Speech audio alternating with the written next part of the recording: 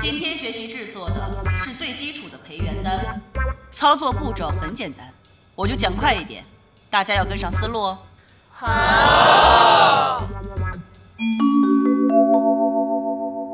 培元丹的制作步骤：首先准备好一个阳城罐，接着金沙铸鼎、盔甲、龙骨打碎、研磨，丢进去；石菖蒲剁碎、远志剁碎，撒进去，加十五号粉，七滴清金石油，抹平，入炉关炉封胶，封炉膛点火，调整闹钟到酉时出课。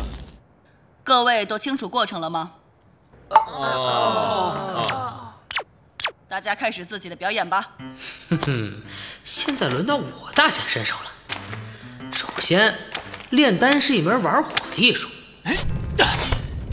老陈家祖传的大鼎是为大宗丹药炼制而设计，这种小剂量的情况，火候就很难掌握。嗯，倒是孙荣做的有模有样。你居然直接搬来了自家企业的制丹机！这还算是自己做的吗？什么？这边还得用微波炉炼丹？